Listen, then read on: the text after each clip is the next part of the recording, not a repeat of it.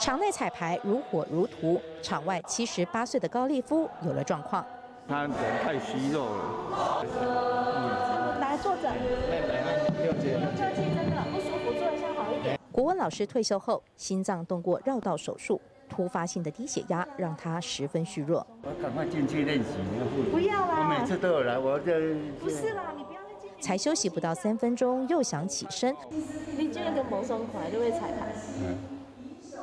我怎么可以错过这机会？这么书生一言上人来，我要把握机会啊！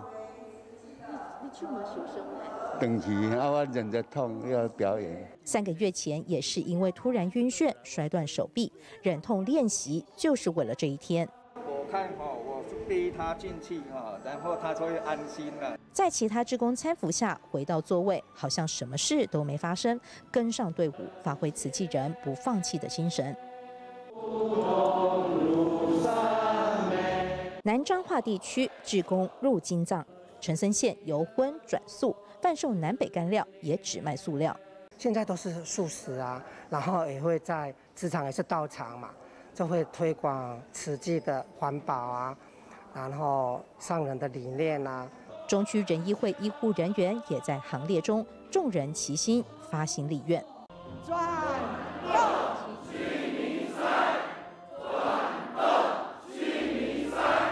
我们都不要轻视自己，我们人人皆成佛，哪怕呢，就像蚂蚁那么小，他只要坚定立愿，他还是一步一步向前爬。